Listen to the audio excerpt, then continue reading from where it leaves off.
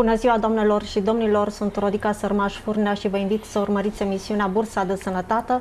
Vom vorbi azi despre concedii și vacanță, dar mai ales despre metodele prin care putem evita îmbolnăvirea în anotimpul cald.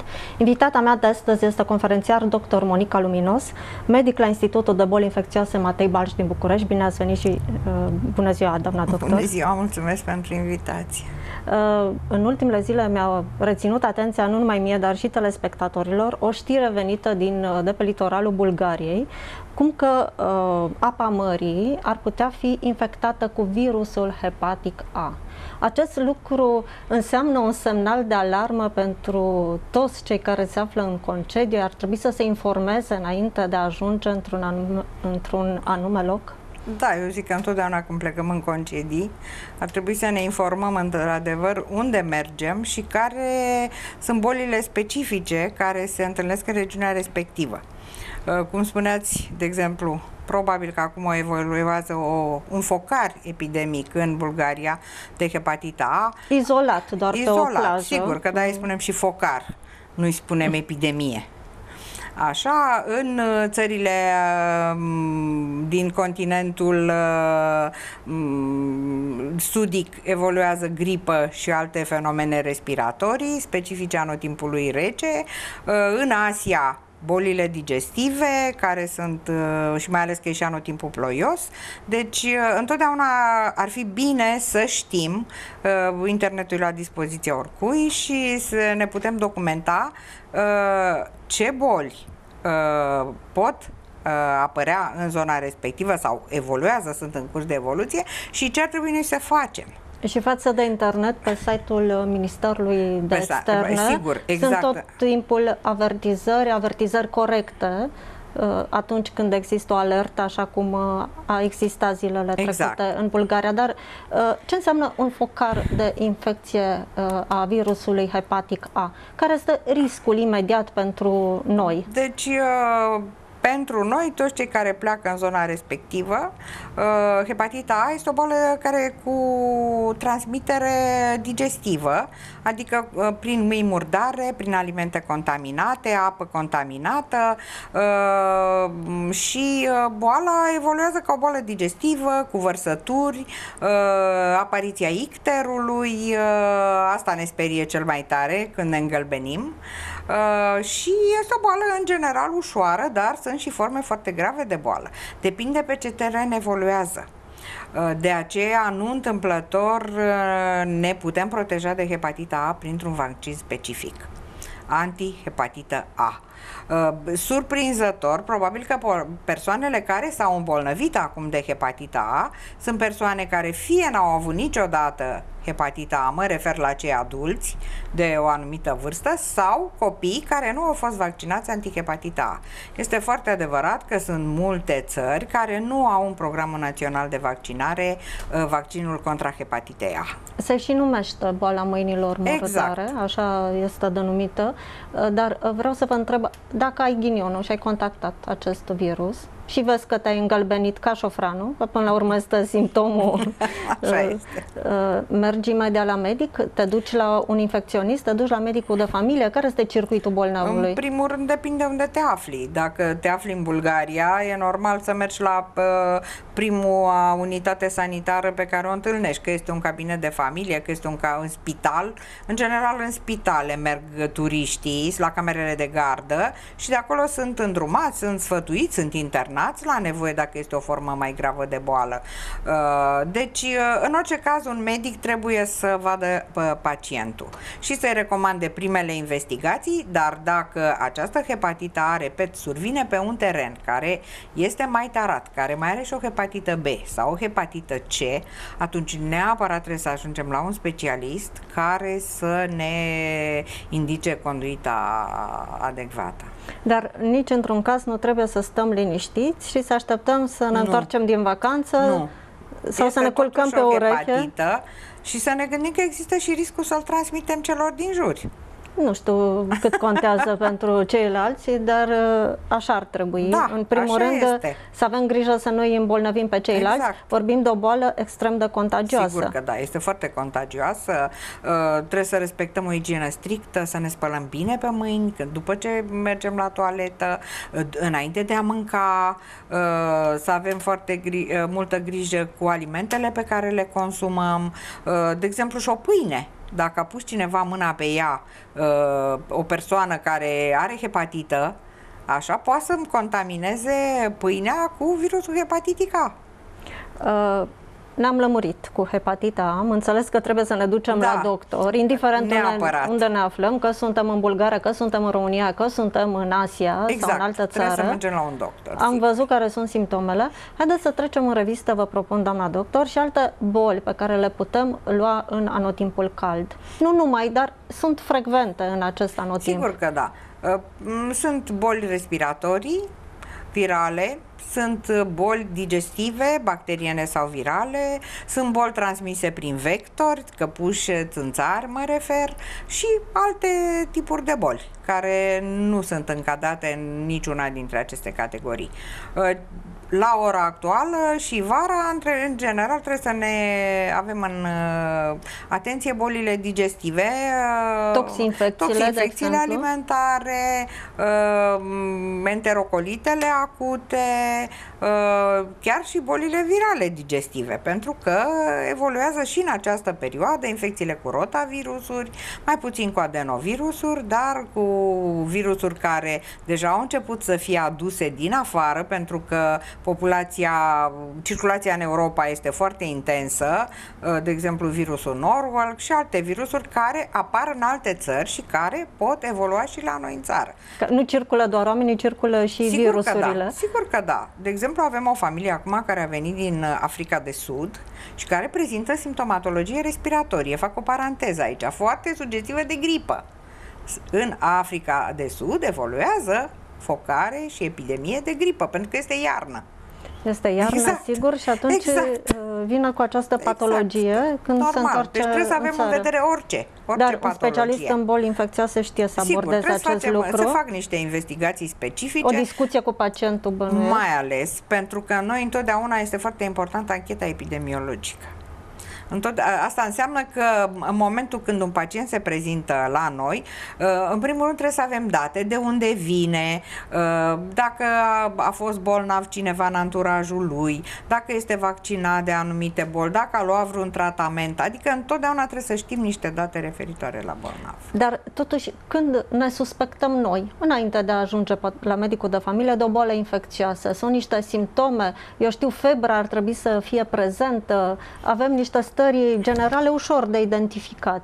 Da, în general o boală, eu știu, determinată de un virus, de o bacterie, febra este un semn quasi constant, Uh, o tuse, de exemplu, pentru o infecție respiratorie, o boală diareică acută pentru o infecție digestivă, adică mă refer la diaree, vărsături, uh, lipsă de poftă de mâncare. Uh, Deci astea sunt în principal uh, semnele, dar cel mai important este febra și celelalte fenomene însoțitoare, fie digestive, fie respiratorii. Deci toate acestea ar trebui să ne Exact. pună... Uh, și pacientul din România ce face? Se duce prima dată la medicul de familie sau, dacă eu știu, are niște stări neplăcute noaptea, merge direct la o cameră de gardă la un spital de Sigur boli că da, infecțioase? sigur. Cheamă salvarea? Se- Cum, care în este general, circuitul pacienții bolnavului? apelează serviciul de ambulanță și uh, dacă acesta este foarte ocupat sau depășit, pentru că în perioade, de- în anumite perioade, chiar și serviciul de ambulanță este depășit de numărul solicitărilor. Și atunci, uh, omul preferă să urce mașină și să vină la camera de gardă a unui spital. Am văzut, uh, doamna doctor, de curând uh, o avertizare a Organizației Mondiale a Sănătății care spune că odată cu încălzir, încălzirea globală, foarte multe boli aproape dispărute și boli infecțioase ne pun în pericol. Uh, ar trebui să fim mai atenți, eu știu uh, că până la urmă încălzirea globală este un fenomen, nu putem noi să-l prevenim. Exact. Putem să prevenim astfel de îmbolnăviri, în afară de igiena de care deci, ați vorbit? Unele dintre ele mai pot fi prevenite prin vaccinare. Sigur, obligatoriu ar trebui făcute uh, aceste vaccinuri și dacă ne deplasăm într-o anumită zonă trebuie să facem un anume vaccin. Dar, în general, vaccinările din schemele naționale sunt uh, protejează, da. protejează de foarte multe boli. Uh, apropo și, în de... general, cele mai importante uh, această, această protecție. Până la urmă, o să vă propun în partea a doua a emisiunii să o, să o dezbatem. Dar până atunci, tot astăzi am văzut o știre că s-au găsit niște fiole de variolă în America la o anumită agenție. Uh, ce înseamnă acest lucru? Este un pericol? Se poate sustrage dintr-un laborator? Uh, dacă o singură fiolă de variolă uh, ar fi deschisă, ce s-ar putea întâmpla? Vă întreb, da, vedeți pentru că, că sunt, asta chiar nu știu. confirmată și trebuie și foarte bine confirmată, să nu fie o știre de asta bombă lansată și asta, pentru că depinde ce fiole de vaccin antivariolic, uh, pentru că virusul variolic se păstrează, deci cel pentru uh, vaccinare, uh, virusul care se folosește în prepararea vaccinului, se păstrează în, sunt trei laboratoare în lume la ora actuală care îl conservă și este foarte bine protejat. Deci nimeni nu are acces la acest virus. Este foarte bine protejat, mai ales că variola este știut că a fost o boală înfiorătoare care a determinat mii de victime. Teribilă, da. Milioane, iertați-mă, ar fi un de dezastru victime. Exact, dacă... ar fi un dezastru. Probabil că nu știu, este o știre neconfirmată și este clar că nu cred că este vorba de uh, virusul variolei ca atare în anume uh, fiole. Probabil că este vorba de un vaccin antivariolic care a fost sustras de undeva. Uh, vaccinul antivariolic se mai face. Există populație cu risc care uh, primește acest vaccin antivariolic. Deci vorbim totuși de o eradicare Sigur, a variolei la nivel eradicată, mondial. Variola este eradicată din 1979. Populația nu se mai vaccinează de variola, au existat acele alarme cu uh, conform cărora s-a reluat prepararea vaccinului antivariolic ca armă biologică uh, fiind variola. Uh, știți că acum vreo 10 ani a existat alarma conform căreia foarte multe virusuri și bacterii ar putea fi incluse în arma biologică. Și atunci una dintre metodele de profilaxie specifice este vaccinul antivariolic, care s-a reluat prepararea lui și se face numai anumitor categorii de persoane, de exemplu, ă, persoanele care lucrează în armată și există risc în zonele de conflict să se confrunte și cu așa ceva, adică cu o armă biologică. O armă sigur letală, că da, o armă letală, un dezastru sigur că da. masă exact. deosebit. Da, nu se vaccinează populația generală. Iată puterea virusurilor, exact, e doar da. un exemplu sigur, sigur. Uh, da, de, de putere și de putere uh, Așa este, distructivă. Distructivă Așa este. Uh, și cu ce putere de distrugere. Sigur. Dar să ne întoarcem la îmbolnăvirile noastre din da. vacanță și mi-ați spus de toxi-infecții, de bolile digestive specifice sezonului cald. Da. Să de la mâncare alterată, trebuie să fim atenți ce mâncăm sau, uh, uh, eu știu, ni se poate întâmpla chiar dacă suntem atenți. Exact. Exact, adică oriunde ne putem îmbolnăvi. Și pe stradă dacă mâncăm, și dacă cumpărăm alimente care sunt contaminate uh, și le mâncăm acasă, și într-un restaurant ne putem îmbolnăvi, pentru că într-adevăr trebuie să existe un control foarte strict al alimentelor, al modului de preparare și mai ales al modului de conservare. Atenție mare aici. Uh, de exemplu, dacă niște alimente sunt uh, ținute la o anumită temperatură, mă refer să ținute peste Uh, temperatura din frigider este în general între 2 și 8 grade. Ținute peste 8 grade, există risc mare de uh, contaminare a acestor preparate. Știți că într-un frigider, de exemplu, se amestecă mai multe alimente, și legume, și fructe, și lactate, și uh, aici există de asemenea risc dacă nu păstrăm o temperatură corespunzătoare. Și trebuie acoperită. Și obligatoriu această... trebuie acoperite, protejate alimentele unele de altele. Deci astea sunt niște reguli de bun simț. Da da. dar vreau să mergem pe ter- teritoriul dumneavoastră sigur, sigur. Uh, în pediatrie, pentru că sunteți pediatru da, da. și uh, înainte de toate. Da, avem o uh, perioadă foarte grea acum. Avem multe tabere sigur, școlare sigur. în această perioadă și meniurile sunt așa cum sunt. Ar trebui să se umple, umple puțin la meniuri, pentru că ați văzut că avem cam aceeași mâncare pe care o știm din perioada comunistă. Lucrurile da. ar trebui să se schimbe pentru că există riscul acestor toxinfecții, da. că atunci se îmbolnăvesc uh, 500 de copii odată și Așa o problemă. Este. Meniurile trebuie să aibă în vedere, în primul rând, alimente care pot fi bine conservate, alimente care să se servească proaspăt preparate, deci să fie supuse regimului termic, Neapărat ele trebuie să fie fierte, coapte, uh, ca să evităm riscul uh, infecției cu o bacterie digestivă. Trebuie gătite, neapărat. Exact, trebuie gătite. Uh, să nu fie alimente conservate, care ulterior să fie mai încălzite. Asta nu.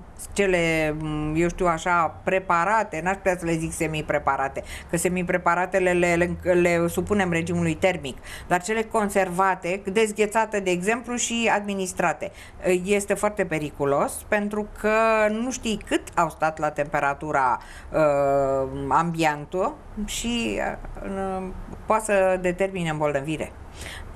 Dar mezelurile, eu știu... Mezelurile, dacă avem certitudinea că au fost bine conservate. Pateurile, iar să dau... Uh, exact, și pateurile de ficat trebuie atenție. Dacă sunt pateuri în conservă, trebuie foarte bine examinată cutia respectivă, pentru că există riscul cutia să mai fie găurită, să mai fie, eu știu, desfăcută la un moment dat și aici avem risc de toxinfecție alimentară destul de severă. Una dintre ele, cele mai severe, este botulismul, care este o boală gravă. Aici vreau să vă întreb, aceste toxi-infecții pot, pot fi foarte grave pentru copii sau și pentru adulți Pentru în toată lumea, instanță? Uh, pentru copii mai ales, pentru că, mm, de exemplu, uh, unele alimente conțin toxina uh, bacteriei respective, altele conțin și bacteria și toxina, și altele conțin numai bacteria. E, aici este la copil doza infectantă de obicei este mai mică. Norm, e, e mai mic, sigur. E, e mai mic copilul și doza este determină fenomene, doza infectantă determină fenomene mai accentuate decât la adulți. Trebuie avut în vedere, eu știu, consumul de brânză, că la aici vreau să mă duc cu, cu gândul, pentru că avem foarte multe toxinfecții cu stafilococ determinate de consum consumul de brânză cumpărată Osaka de oriunde, neverificată. Ă, știți, obiceiul acum să nu mergem să cumpărăm ă, brânză din magazin sau de la un supermarket, deși aici brânza este controlată. O cumpărăm de la țărani. O cumpărăm de la țărani și asta este riscul foarte mare. Nu vreau să uh, fac, eu știu, să vorbesc împotriva acestui lucru, dar trebuie mare atenție de unde o cumpărăm. Pentru că, de exemplu, o, eu știu, un furuncul, un acces la un deget, la o mână, dacă la, uh, Uh, laptele nu a fost fiert din care s-a făcut acea brânză, riscul de infecție stafilococică este foarte mare. Mai ales vara. Mai ales vara. Dar uh, cumpărăm brânză, indiferent că o cumpărăm uh, da. dintr-un loc autorizat sau de la da. țăran, e bună, da. însă o ținem foarte mult în frigider chiar și în tabără. Sigur că da. Atunci poate fi iar un risc pentru da, poate fi o brânză care stă două congelăm. săptămâni? O ținem uh, totuși la o temperatură în care germenele se poate multiplica. Adică sarea asigură o protecție uh, împotriva...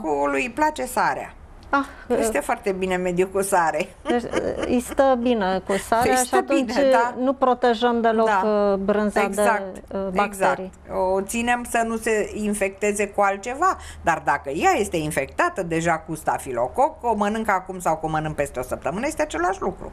Cum debutează o toxinfecție? Cum uh, ne dăm seama rând, că avem o toxinfecție? Vărsături, greață. Încep cu greață la un tip după consumul alimentului care poate fi mai scurt sau mai lung, poate fi între o oră a, vorbit de infecția asta filococică sau câteva ore o salmonelă, o șigelă, așa, până la 24 de ore, deci am mâncat astăzi și putem mâine să avem simptomele. Grețuri, vărsături, Uh, unele dintre bacterii dau vărsături imediat și mai multe, cum este stafilococul, uh, altele dau mai puțin vărsături, în schimb apar fenomenele celelalte, diarea care de foarte multe ori este uh, o diaree profuză, îi spunem noi, scaun după scaun, scaun după scaun, dureri mari abdominale. Deshidratează uh, masiv. Deshidratare masivă, bineînțeles că nici nu te mai poți ține pe picioare, așa, sau dacă ai vărsat foarte mult, orice ai încercat până la urmă să te hidratezi pe gură, uh, nu mai reușești să aduci organismul la starea inițială și de aceea ai nevoie de un,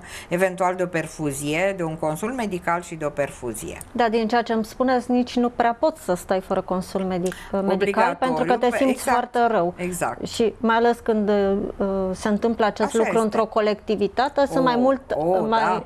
mult, uh, mai multe persoane afectate. Aici, sigur că da. Trebuie identificat în primul rând alimentul să nu mai, să nu mai consume altcineva din acel aliment. Trebuie îndepărtat alimentul respectiv. Dar cum se întâmplă? Ajung uh, copiii, să dăm un exemplu clar, da. într-o unitate, într unitate de boli da. infecțioase, da. se anunță, se anunță Direcția de Sănătate Direcția Publică? de Sănătate Publică, care se deplasează la locul respectiv, uh, identifică și celelalte cazuri care posibile de infecție, uh, prelevează din alimentul respectiv probe, merg la laboratorul de specialitate și se identifică uh, agentul cauzal. Deci aceasta este procedura, da, nu există niciun procedura, uh, dubiu și da, nu da. se poate întâmpla sigur, acest sigur. lucru.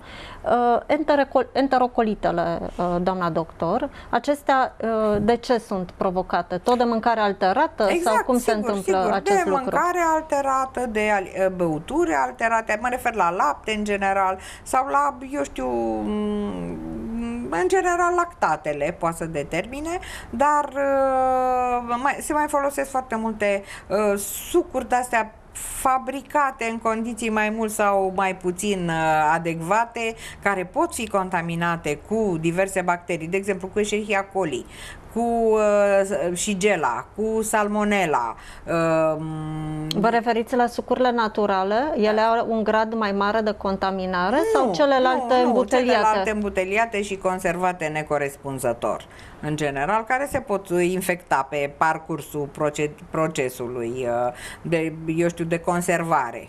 Tot cu scaune diareice, Scaune mă diareice, poate să fie manifestă. dureri abdominale mari, vărsături, Uh, și starea generală se poate altera și aici destul de repede. Uh, dacă simptomatologia este foarte intensă. Iar dacă toxinfecția a fost provocată de o bacterie, în cazul enterocolite, probabil că avem un enterovirus. Mă gândesc. Avem și enterovirus, avem și uh, virusurile care circulă vara, ECO și Coxsackie, care sunt virusuri care se transmit tot pe cale digestivă. Deci se găsesc în fecală, nu? Da, de obicei, exact, exact, ce... așa. Și avem și bacterii, cum este Salmonella, Shigella, Escherichia coli. Deci, um, da. diferența între toxinfecție alimentare și enterocolită acută este că în toxinfecție alimentară um, de obicei evoluează cu vărsături mai multe, cu uh, febră mare uh, și există un focar. Este un aliment care l-a uh, incriminat. Și în enterocolită acută există acest aliment. Dar de foarte multe ori uh, nu am un focar. Dar nu am se poate identifica acest două, focar în cazuri izolate, iar când este vorba de virusuri, este clar, o toxinfecție alimentară nu poate fi determinată de un virus. Copiii sunt mai expuși, înțeleg, la da, aceste infecții, da.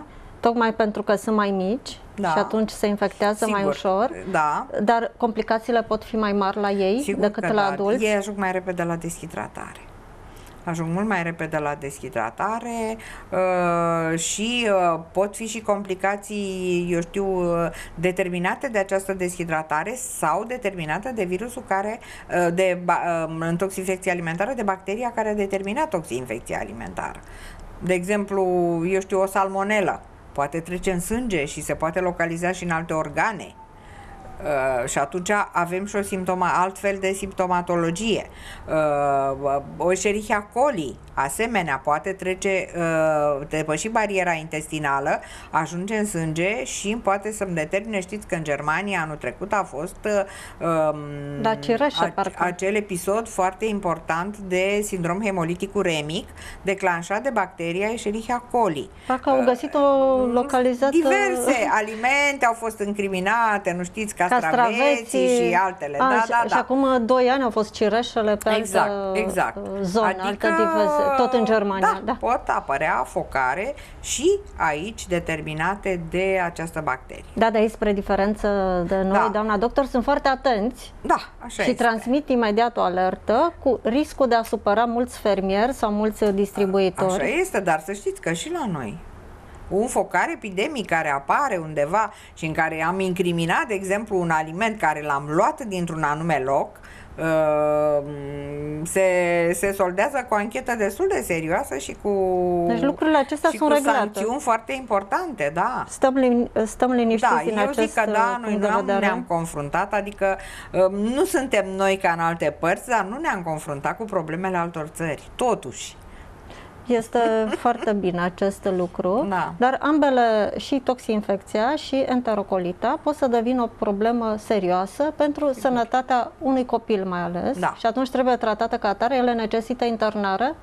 Uh, unele da, formele ușoare care, uh, de exemplu, într-o toxinfecție alimentară, avantajul vărsăturilor și al scaunelor diarice, dar mai ales al vărsăturilor, se îndepărtează foarte repede alimentul care a determinat simptomatologia. Și atunci totul reintră normal, foarte, mai repede.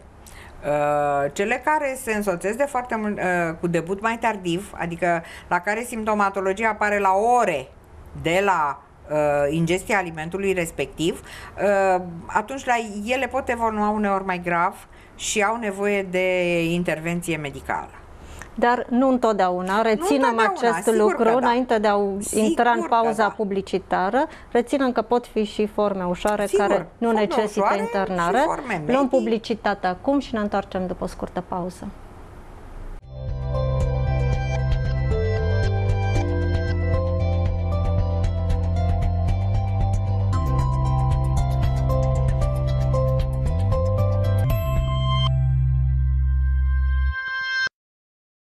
Ne-am reîntors în platoul emisiunii Bursa de Sănătate. Vă reamintesc că invitata mea de astăzi este conferențiar dr. Monica Luminos, medic la Institutul de Boli Infecțioase Matei Balș din București. Am vorbit în prima parte, domn, uh, doamna doctor, despre focarele estivale de infecție. Am, uh, și vom continua și în partea a doua cu ele, ca să știm uh, dacă ne luăm copiii mici cu noi în concedii. Cred că aici este o mare problemă. nu știu, uh, și poate că e bine să-i luăm, poate că nu dumneavoastră ne spuneți acest lucru, depinde poate de destinație, de locul exact. unde trebuie să ajungem. Vorbim de un bebeluș. Și de, de destinație, și de cât sunt copii de mici, dar nimeni nimeni nu vă împiedică să vă luați copii cu dumneavoastră.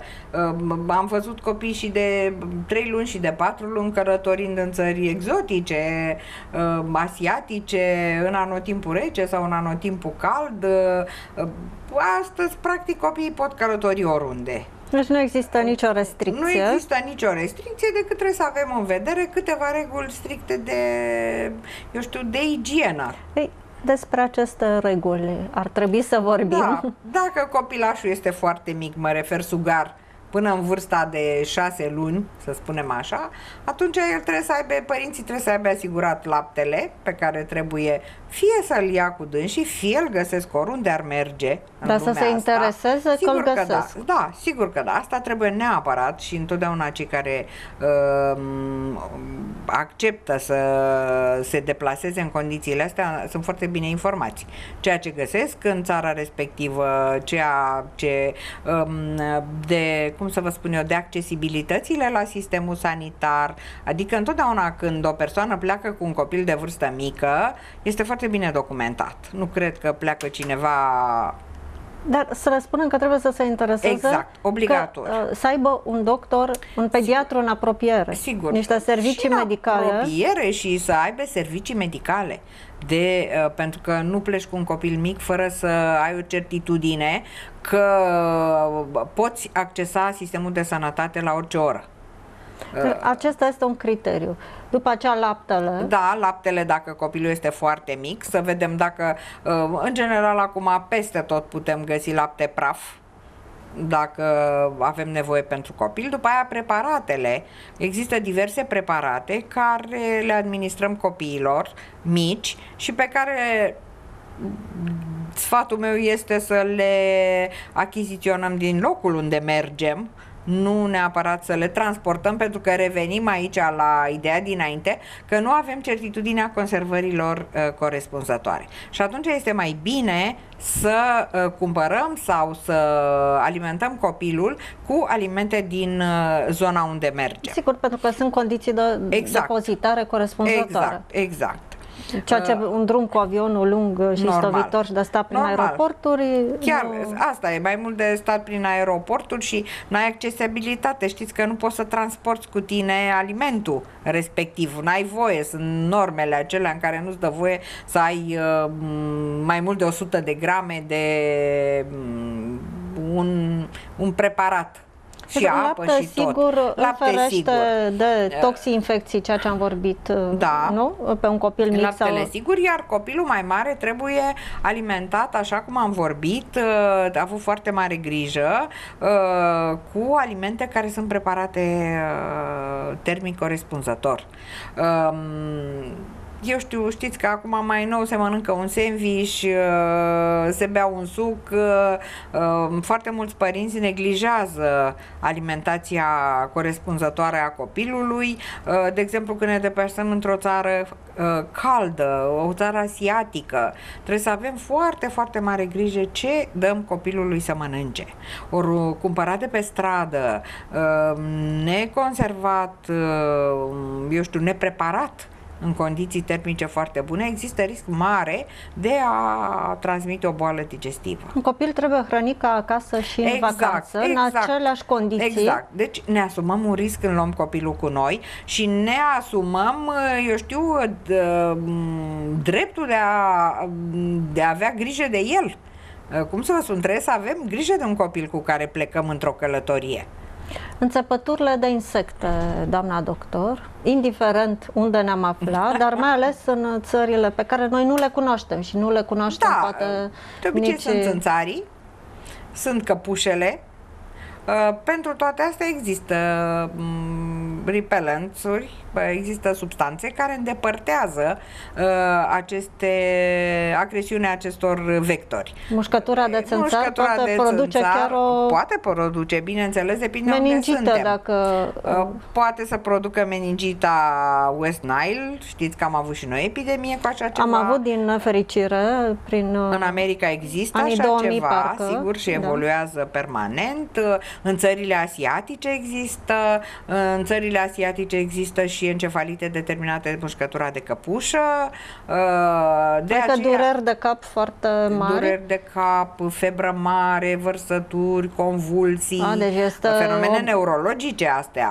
Deja e afectat exact, sistemul exact, nervos sistemul central. Nervos, da. sigur. De aceea, întotdeauna în băgăjel trebuie să avem uh, și uh, să avem în vedere și uh, existența acestor substanțe care îndepărtează eventualii vectori.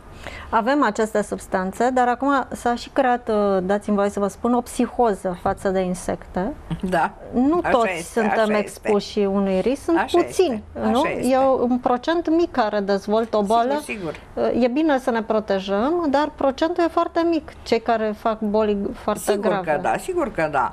Uh, în primul rând să știți că, mă rog, în România cazurile sunt foarte puține, uh, pentru că avem acces urgent uh, la doctor, dacă ne-a mușcat o căpușă, acum este într-adevăr o isterie cu mușcăturile de căpușe. Da, Toată ele lumea... nu dezvoltă păi, neapărat o boală. Bineînțeles, bineînțeles. Iar uh, borelioza de care s-a vorbit foarte mult și se um, se amplifică foarte mult importanța acestei boli. Nu este chiar așa o boală care să evolueze foarte frecvent în România, nu. Pentru că întâmplător căpușa se îndepărtează foarte repede, întâmplător sau nu. Se scoate, se, ea, se, scoate, ea intră sub scoate, piele, exact, se vede. și ceea ce nu se poate face, se merge la un medic și la o secție, o cameră de gardă și se îndepărtează căpușa de acolo. Nu este nevoie, ce vreau eu să spun și în emisiunea dumneavoastră, nu este nevoie de un tratament cu antibiotic dacă acea căpușă nu a stat mai mult de 24-48 de ore în locul în care a produs mușcătura. Deci nu avem nevoie de tratament tratament cu antibiotic. Este o nebunie întreagă. Toată lumea solicită tratament, măcar o zi, măcar trei, măcar cinci. Păi, medicul îi exact, dă tratamentul exact. de care are nevoie, exact. nu pe exact. care îl solicită exact. pacientul. Adică ei sunt foarte speriați în general pacienții. Că nu e vorba de neglijența medicilor da. și de lipsa nu, lor de nu, interes, nu, este vorba că nu se impune un tratament Așa este. în primele am, 24 de ore. Sigur că da, noi am făcut și protocoale la camerele de gardă. Uh, ca să atenționăm părinții asupra acestei uh, importanței acestei afecțiuni, dacă există, dar ea de obicei nu uh, apare dacă căpușa a fost îndepărtată repede. Și în general în câteva ore, pentru că părinții își îngrijesc copiii, seara la baie, imediat se observă Și căpușa. văd că e o porțiune înroșită, da. nu? Sigur nu este, da. este ori, imposibil exact, de sigur nevăzut da. sigur. și îți provocă durere. Așa este. Este un corp străin da, până se la urmă. vede, nu... o căpușă rămâne acolo atașată, știți? Dacă ea te-a mușcat și a căzut, nu există niciun risc, nici nu mai vezi dar uh, dacă rămâne atașată pe piele, ea se desface, ori încearcă părinții să o desfacă. Și dacă văd, să nu insiste însă, că dacă văd că nu au reușit să o extragă să ușor, atunci mai bine să meargă pentru că trebuie extrasă în totalitate căpușa de acolo. Și Depinde de vârstă, depinde de timpul cât a stat copilul. Dacă a stat peste 24 de ore cu o căpușă pe el, se dă o singură doză de un anume antibiotic. Dacă a stat mai mult, Uh, se urmărește și...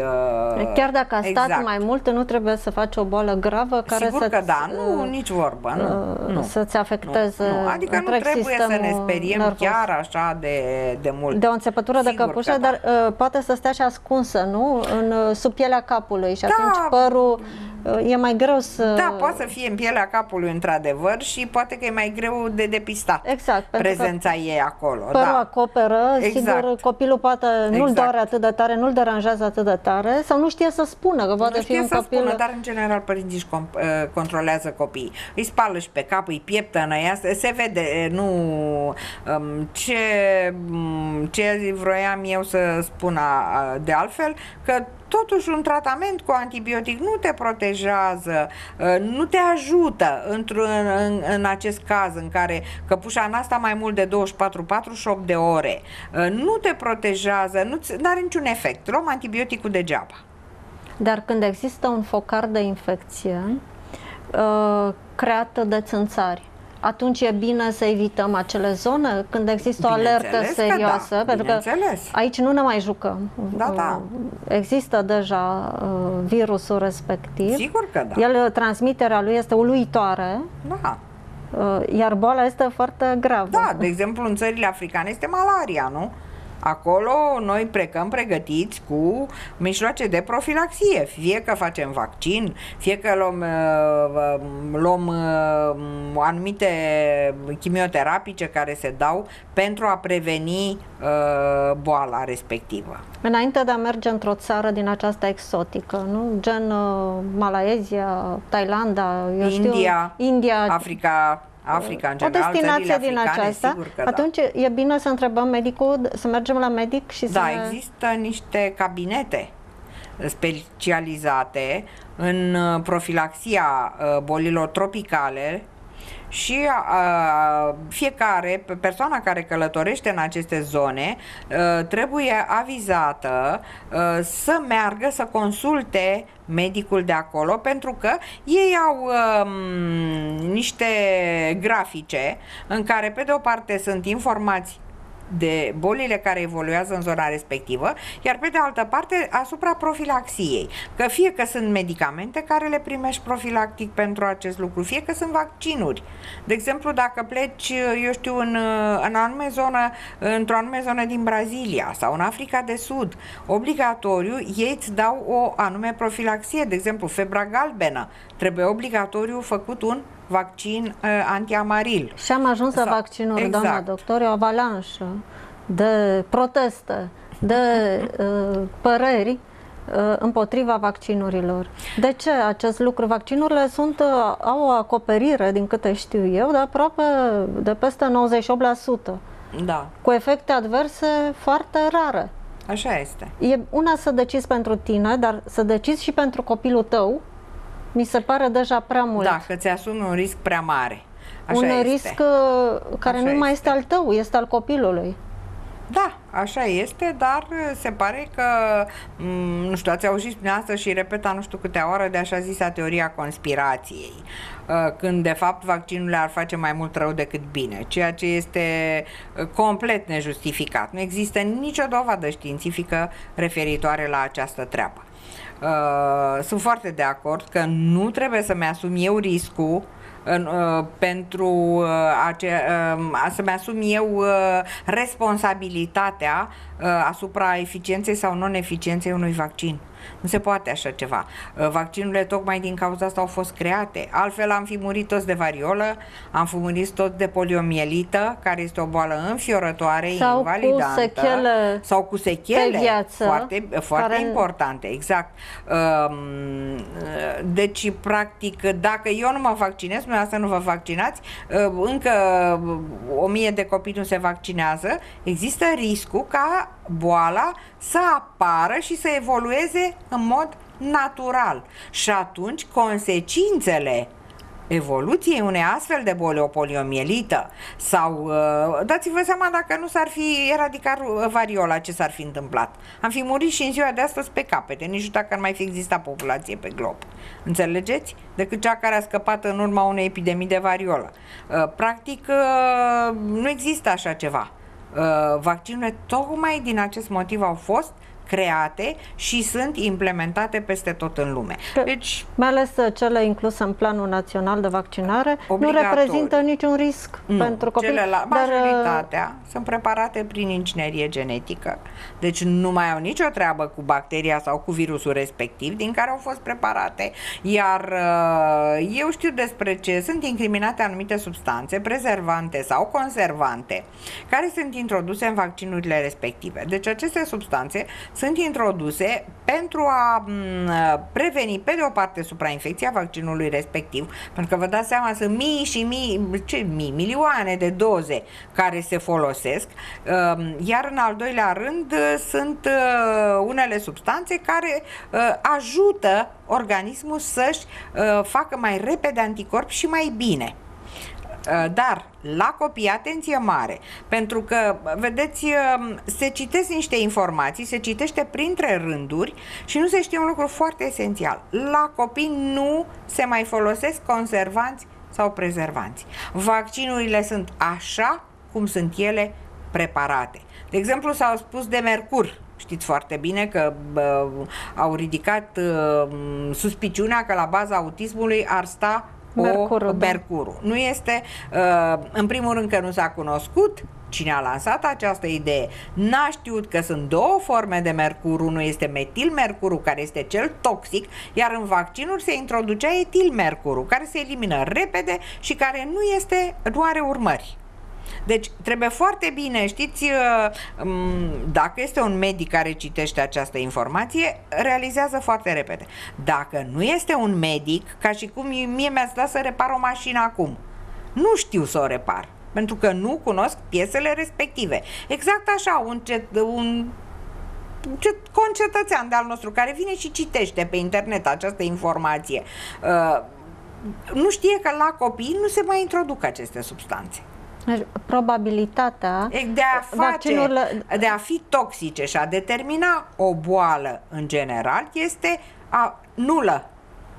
Este nulă, da. Iar efectele adverse sunt uh, Efectele trec adverse, repede. exact. Și o sunt febră, ușor de o supravegheat. durere la locul injecției. Uh, asta poate să fie, uh, sunt citate de toate, mm, eu știu, toate agențiile uh, care uh, comercializează aceste vaccinuri. Dar ele fac mult mai mult bine decât rău. O, da, o, da, nici Aceste lucruri trebuie, trebuie indiscutabil. uh, Iar, să realizăm. Pentru că tot de refeream de vac- la vaccinurile astea care le faci când pleci în țări exotice, așa, uh, alea nu știu cine și-ar asuma riscul să plece și să facă o febră galbenă. Care îl omoară. Exact, care îl omoară, da? O febră și atunci, galbenă te omoară. Păi și sigur. atunci neapărat trebuie să te vaccinezi. Da, da, nu știu, este într-adevăr uh, trebuie foarte bine, nu trebuie să citim printre rânduri și trebuie să ne informăm. Și înainte de a alege Exact. o astfel de destinație, Exact. trebuie Exact. să ne facem și un plan medical. Și asta și pentru vaccinuri eu aș recomanda uh, totuși vaccinarea mai, cel puțin uh, cu vaccinurile din schema națională, pentru că avem foarte multe refuzuri legate și de schema națională. Nu numai de cele opționale sau cele pe care le faci în anumite zone când te deplasezi. Nu, sunt legate și de vaccinurile din schema națională. Dar nu sunt obligatorii aceste vaccinuri? Știți cum este? Adică știți cum e, unde lege, unde e lege, nu nu-i prea, tocmeală. Nu prea.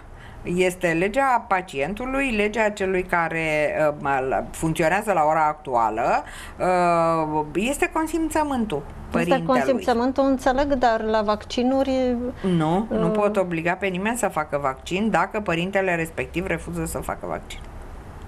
Și atunci își asumă părintele asumă riscul, da. uh, un risc uh, enorm. Da. Deci ar trebui să facă. Sigur că Noi facem aici o pledoarie pentru Da, eu vaccinare. pledez pentru vaccinul pentru că eu îngrijesc consecințele și uh, acestor, uh, acestei lipse de vaccinare. Eu îngrijesc bolile copiilor care n-au fost vaccinați și care fac forme severe de rujeolă sau pojar, cum se zice. Da? Și care fac encefalite și care mor de așa ceva și de encefalite și de bronhopneumonii. Eu îngrijesc copiii care nu sunt vaccinați. Bine, e vaccin opțional, uh, infecțiile cu pneumococic, cu pneumococ. Le îngrijesc și sunt niște tragedii, într-adevăr. Uh, și Infecțiile altele, și acestea altele, și provocă altele. pneumonii, ca să înțeleagă lumea. Da, nu Uh, numai. Cel mai, cel mai grav sunt uh, se- uh, sepsisurile și meningitele cu pneumococ. Astea sunt cele mai grave. Astea sunt cele care lasă sechele foarte importante. Uh, Tulburări de comportament cele mai ușoare. Uh, dar poate să lase, eu știu, hemipareze, pareze, Invalidități uh, pe- invalidități pe pe, viață. viață. Și, Și e atunci păcat.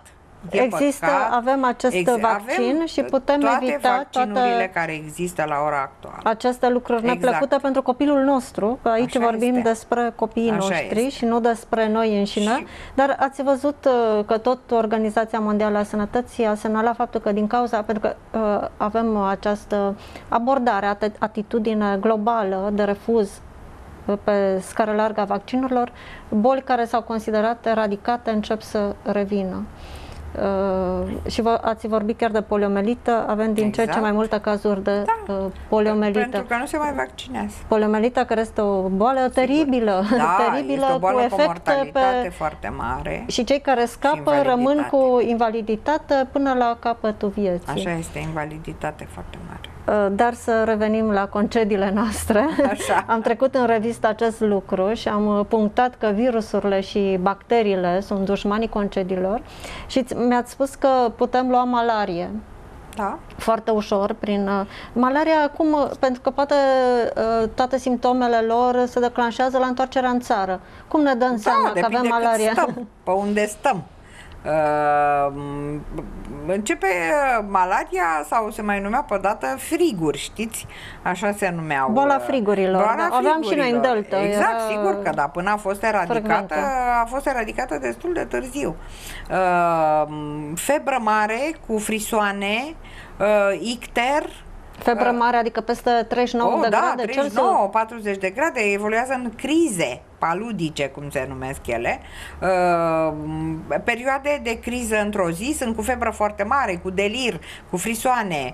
Uh, e o perioadă de acalmie cu transpirații profuze, persoana respectivă se liniștește uh, și după aia reapare criza respectivă, care duce complet, apare icterul, uh, com- este um, acest parazit uh, se localizează în ficat și uh, în- trece prin sânge în ficat și în din organele și splină și poate să determine evoluție foarte gravă.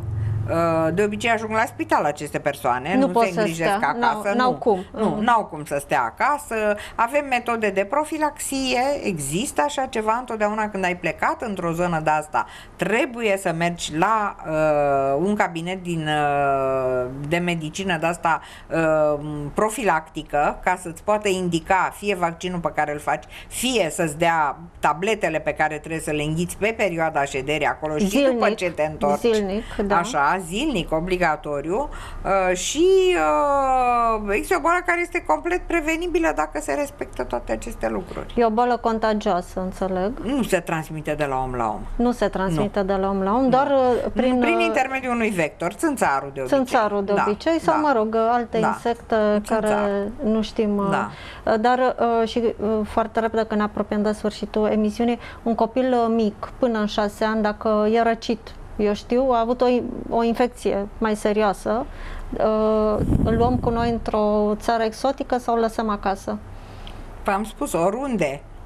Dar dacă e bolnav deja și are un teren din acesta viral, Da, dacă... Deci nu există- Nu există, pentru că orice boală se poate trata. Deci nu există Uh, sigur contraindicații. Că da, nu poți să contraindic un copil care are viroză și care trebuie să plece și dacă nu e nevoie de internare și de spitalizare, de supraveghere medicală, uh, cel puțin uh, câteva zile de la bă, debutul bolii, nu pot să-i contraindic să plece într-o vacanță. Dacă e o răceală obișnuită și asta, Trebuie doar să fim atenți, să Exact. respectăm niște reguli Exact. și înainte să apelăm la un Sigur că da. specialist care Da. să ne consilieze. Vă mulțumesc foarte drag. mult pentru prezența în platou. Cu drag. Vă mulțumesc și dumneavoastră pentru atenție. Ne puteți găsi pe Facebook și pe site-ul televiziunii. Vă urez o seară excelentă. La revedere!